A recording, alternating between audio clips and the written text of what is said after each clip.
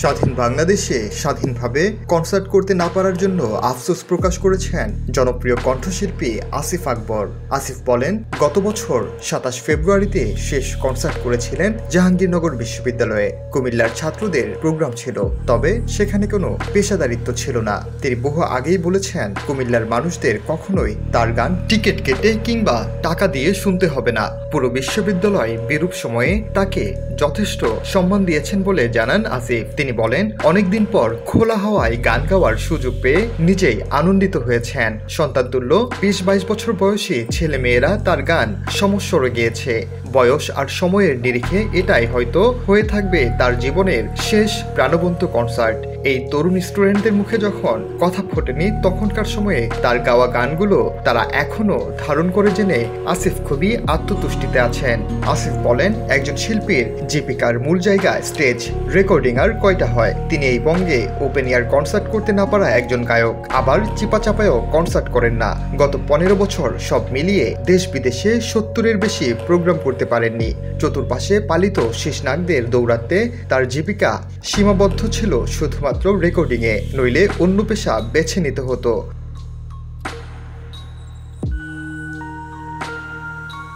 আসিফ বলেন, রাজনৈতিক, মতাদর্শগত জটিলতায় তিনি হয়েছেন না ঘরকা, না ঘাটকা তবে এসব নিয়ে আফসোস নেই আসিফের। দুর্দণ্ড প্রতাপ নিয়ে আজও নতুন প্রজন্মের সঙ্গে তাল মিলিয়ে চলছেন বলে জানান আসিফ।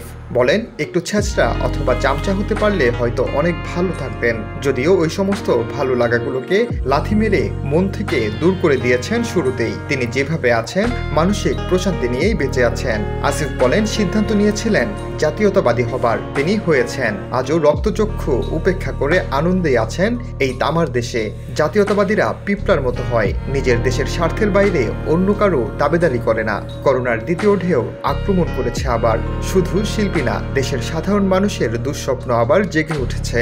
বিয়ে রিইউনিয়ন জন্মদিন সহ নানান উৎসবে অনিচ্ছা সত্ত্বেও যোগ দিতে হচ্ছে। ওসব জায়গায় গেলেই সেলফির উৎপাত চালু। রীতিমতো মাস্ক খুলিয়ে ছবি তোলার হিরিক শুরু হয়ে যায়। কিছু বলা যায় না, নিজের নিরাপত্তার কথাও না। আসিফ বলেন, এদেশের মানুষের মাইন্ড অনেক বড়। ছবি না তুললেও ভাববে তিনি অহংকারী হয়ে গেছেন। যদিও এসব ভাবনার দুই টাকার মূল্য আসিফের কাছে নেই, তবুও সামাজিকতার ক্ষেত্রে কিছুটা মানতে বাধ্য।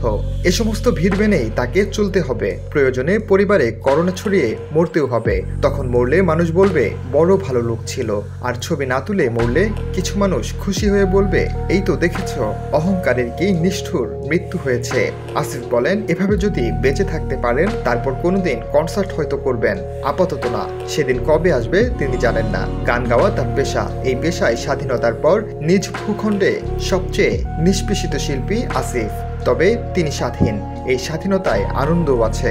সবশেষে করোনা নিয়ে আরও সাবধান হওয়ার আহ্বান জানান আসিফ আকবর।